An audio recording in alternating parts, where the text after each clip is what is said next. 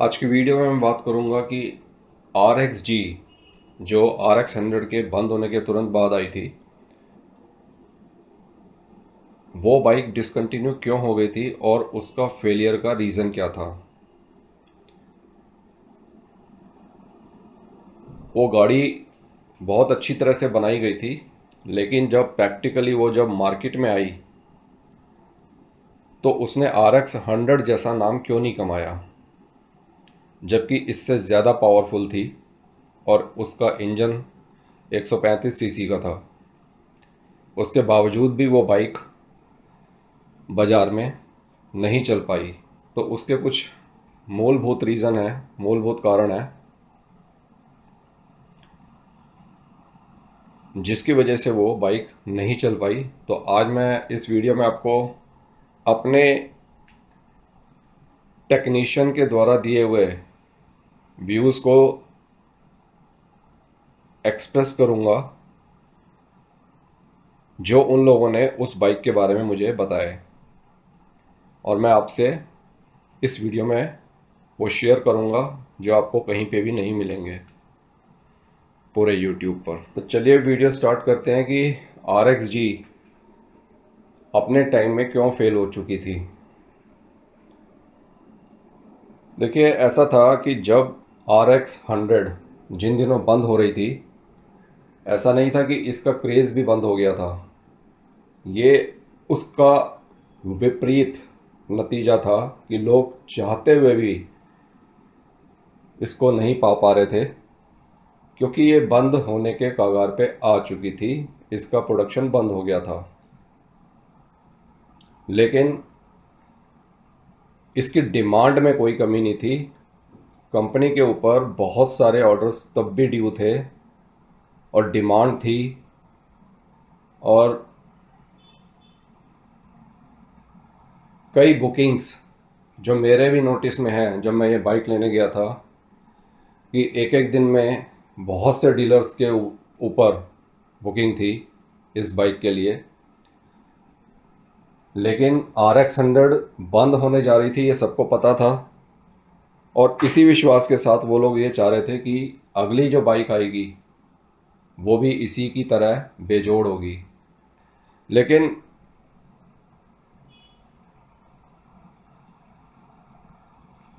हकीकत कुछ और ही निकली। जब कंपनी ने वो लॉन्च की तो स्पष्ट है, हर कंपनी उसकी हर तरह से केयरिंग करके ही सब कुछ जांचने के बाद ही मार्केट में लॉन्च करती है। लेकिन बड़ी से बड़ी कंपनी का एक ही फार्मूला रहता है कि बाज़ार में इम्प्लीमेंट होता है जब ये प्रोडक्ट तो उसका नतीजा क्या आता है? वो फ्यूचर ही बताता है। आप लोगों ने कई बार सुना होगा कि बहुत सी कंपनियाँ हैं कारों की अगर कुछ कमियाँ आती हैं तो वो कारें मंगवा ली जाती हैं मार्केट से। शुरू में जब अगर वो दिक्कत खाती हैं तो ऐसी कंपनियों को भी थोड़ा सा रहता है। जब लॉन्च होती हैं तो उसकी परफॉर्मेंस क्या बोलेगी? वो लोगों की जबान बोलती है। आर एक्स हंड्रेड को बोलने के लिए किसी तारीफ़ की ज़रूरत नहीं है, वो अपने आप में ही एक तारीफ़ है। लेकिन आर एक्स जी सबसे पहले अपनी आवाज़ से मारी गई मारी गई गाड़ी, क्योंकि वो आवाज़ जो एक्सपेक्टेड थी लोगों को, वो उसके अंदर नहीं थी। इंजन शक्तिशाली था और दो व्यक्तियों को बिठा के वो बहुत अच्छे पिकअप को परफॉर्मेंस में देती थी। लेकिन वो कुछ टाइम तक ही था उसका परफॉर्मेंस उसके बाद उसमें कुछ कमियाँ आने लगी और कमियाँ भी वो थी जो इंजन से रिलेटेड थी। ज़्यादातर लोगों की जो शिकायत आ रही थी, वो इंजन के कंप्रेशन को कम होने की आ रही थी। इंजन का जो कंप्रेशन जो है, वो कम हो जाता था और लोगों को लगता था कि इसका इंजन फेल हो चुका। तो ज़्यादातर लोगों ने आर एक्स हंड्रेड का स्वाद चका हुआ था, इसलिए उनके दिमाग और हाथों में वही थी। उसको कंपेयर करते हुए उन्होंने आर एक्स जी के अंदर वो चीज़ ना देखते हुए उसको छोड़ना शुरू कर दिया। और जब ये सारी रिपोर्ट्स मेरे टेक्नीशियंस के पास भी पहुँची तो उन लोगों के शोरूम में भी ये बात पहुँची कि आर एक्स जी में कोई बहुत बड़ी खामी है, जो कि कन्वेंशनली पूरी नहीं की जा सकती, जो बाइक्स के अंदर होती है। तो उन लोगों ने जितना दिमाग था, लगा लिया था। उसके बाद उनका कहना ये भी था कि कुछ जैपनीज टेक्नीशियंस भी आए थे। उन्होंने इसके ऊपर सर्वे किया और पता लगाया कि ये प्रॉब्लम कहाँ से आती है। क्योंकि इसके इंजन की जो शक्ति है मेन तो उसी के ऊपर ही वो परिवर्तित हुई थी आर एक्स का वर्जन जो है जी में कन्वर्ट तभी हुआ था और उसके पीछे कारण ही यही था कि उसको ज़्यादा पावरफुल बनाना है। तो हुआ ये कि वो उल्टा निकल गया। अब इंजन जो बैठ जाता था तो जो जैपनीज कारीगर थे, उन लोगों ने क्या एनालाइज किया कि यहाँ के अंदर डस्ट बहुत है। इंडिया में। और जो इसका एलिमेंट है, एग्जॉस्ट, यहाँ पे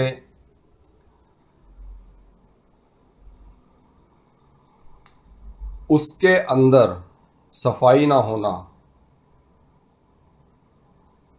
वो डस्ट को ऐसे पकड़ लेता था तो उन्होंने एक कन्वेंशनल आंसर ही बताया कि उसका साफ़ होना बहुत ज़रूरी है, नहीं तो वो इंजन के रिंग्स को खा जाएगा।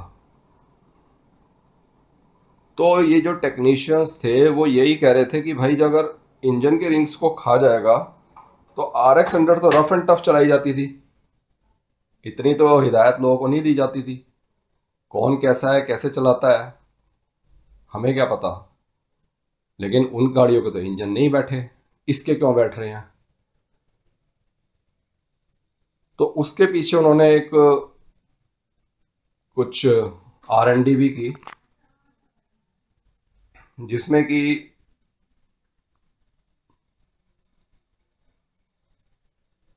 इसकी गास्केट को है, मोटा कर दिया।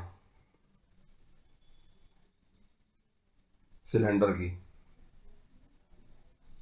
अब उस गास्केट को मोटा करने से उसके अंदर सॉल्यूशन थोड़ा सा ठीक हो गया। और ये हिदायत दे के चले गए कि आगे से इसके एलिमेंट को बिल्कुल क्लियर करके रखना है और सर्विस इसकी टाइम से ही होनी चाहिए और गास्केट आप पतले की जगह मोटा यूज़ करेंगे। अब देखिए वो कितना मोटा है, वो उनकी अपनी एक इन्वेंशन है। उसके लिए मैं नहीं बता सकता। आपको मोटे रूप से बता दिया है, वो लोग उतना करके चले गए, लेकिन हमारे जो इंडियंस टेक्नीशियंस थे, उनको ये तसल्ली नहीं हुई। वो पिछली गाड़ियों से उसको कंपेयर कर रहे थे। और उसका हेड सिलेंडर थोड़ा सा इससे बड़ा है। आर एक्स हंड्रेड का उसमें नहीं आता। तो उन्होंने एक अपनी डिज़ाइनिंग की। एक्चुअली था क्या कि जिस प्रेशर से लोग भगाते थे उसको, अगर उसका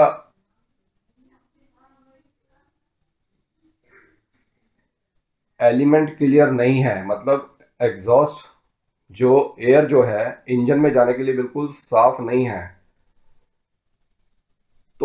वो बाइक अपना इंजन का ही दम घोड़ देती थी।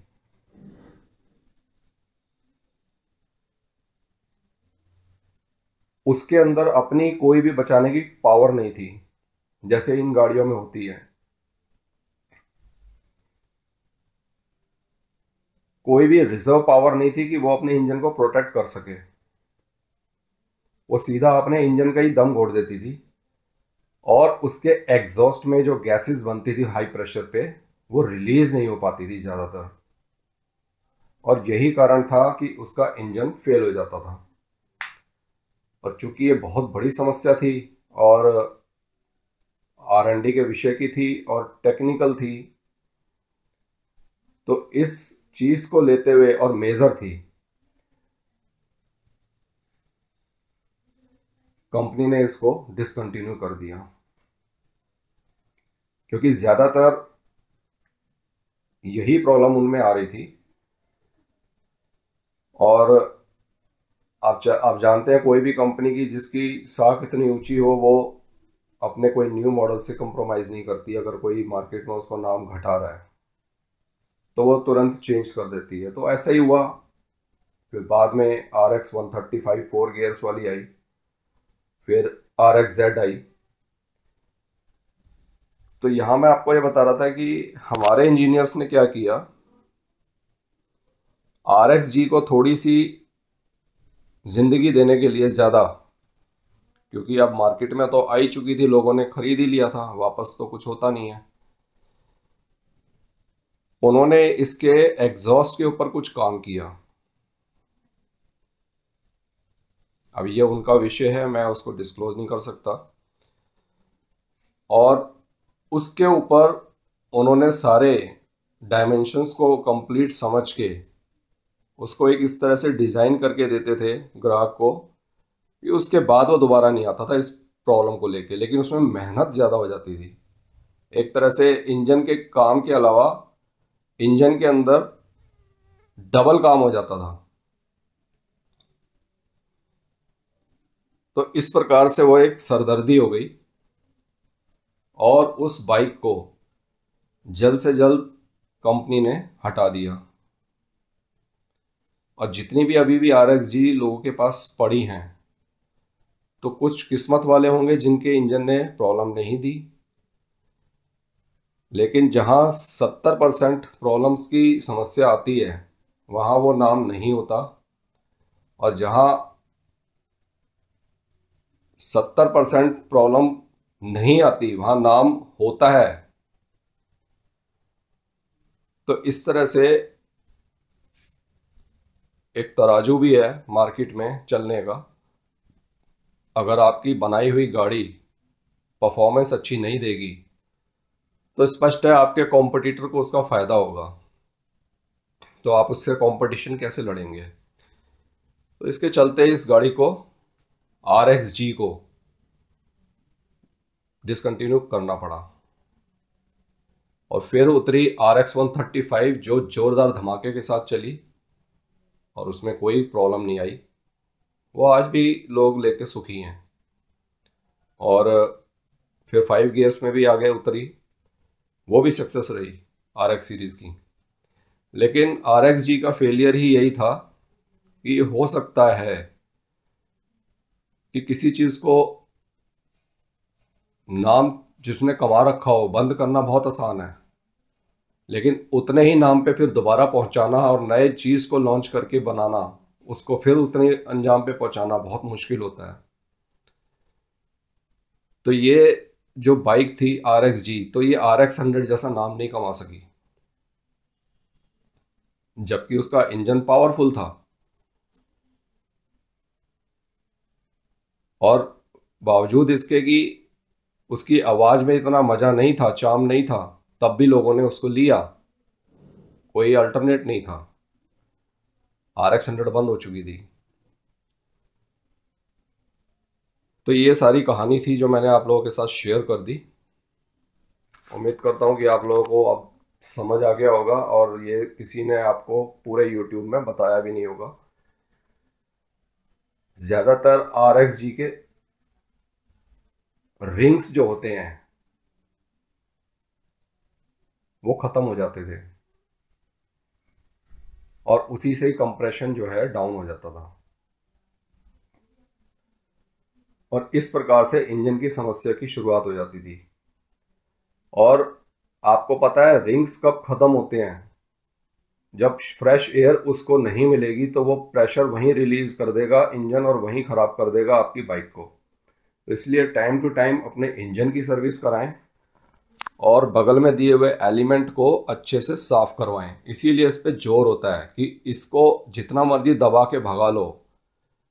अगर नहीं भाग रही 80 से ऊपर नहीं भाग रही तो आपकी गाड़ी में दिक्कत है, फिर मत भगाओ। उसको पहले सर्विस कराओ। लोग वही कर रहे थे आर एक्स हंड्रेड समझी हुई थी उन्होंने, दबा के भगा रहे थे। तो परिणाम यही हो रहा था कि उसको, अगर इसमें वेरिएशन है, बचाने का अपने आप को तो उसमें कुछ भी नहीं था। उसका जो सीसी का हिसाब था सिलेंडर का, उसको इंक्रीज करने के लिए उन्होंने डबल गैस्केट जो है, मोटी गैस्केट लगाने का एक अनुरोध किया, यहाँ के टेक्नीशियन से। लेकिन समस्या वहाँ पे भी नहीं हुई, ख़त्म। ये हर गाड़ी के साथ समस्या आ रही थी। तो इस तरह से ये गाड़ी डिसकंटिन्यू कर दी गई। ये जितनी भी बात मैंने आपसे शेयर की है, ये मैंने अपने तीस साल पुराने टेक्नीशियन से बात समझ के आपके साथ शेयर की है, क्योंकि उन लोगों को एक्सपीरियंस पहले से ही बहुत था। और उन्होंने अपना शेयर किया कि इस बाइक में ये प्रॉब्लम आती थी। क्यों बंद हुई? और उन्हीं के शोरूम में वो जापानीज़ लोग भी आए थे। तो उन्होंने भी बताया कि भाई, इसमें ये समस्या है, ये ठीक कर लो, ऐसे हो जाएगा। लेकिन नहीं हो पाई वो चीज़ ठीक। रिपोर्ट ऊपर तक गई होगी, हो सकता है। उसको डिसकंटिन्यू कर दिया हो। तो ये कारण कुछ बनते हैं इन चीज़ों के डिसकंटिन्यू होने के। जब मार्केट में कोई चीज़ नई लॉन्च होती है तो तुरंत तो दौड़ना नहीं चाहिए लेने के लिए, ये याद रखना। पहले चार छः महीने उसकी इंतज़ार करो परफॉर्मेंस का। ये नहीं कि कंपनी ने आर एक्स हंड्रेड नहीं निकाली और लूट लें पहुँच गए सबके सब। पहले उसकी परफॉर्मेंस देखो। परफॉर्मेंस में क्या है कि आपको पता चलेगा कि चीज़ क्या निकली है। उसके बाद परचेस करो छः महीने के बाद। तो उम्मीद करता हूँ कि आपको ये वीडियो समझ आ गई होगी और नेक्स्ट वीडियो के लिए मुझे आज्ञा दीजिए। तब तक के लिए गुड बाय